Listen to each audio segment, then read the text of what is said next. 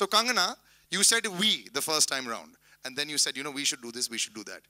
You didn't ask anything else about the film at all. It was just a straightaway jump into the zone. I, that's yeah, that's how much I love the script, and uh, I think uh, it is a love story, which might not even end up like a love story because this film is uh, the way it um, you know reveals is uh, in a non-linear narrative. So it's very hard to actually give you an idea of what this actually is about and especially my character in the film, you're wondering all the time, uh, you know, with every 10 minutes, I'd be like, this is it, I got it, you know, this is what, this is where we are heading. And then suddenly something happens and you're like, no, you know, so you can't really, in fact, you can't even tell the genre of the film while you're having the narration. If it's a tragedy, it's a coming of age love story, or it's a slice of life, or, you know, so I think I just, I just loved everything about it.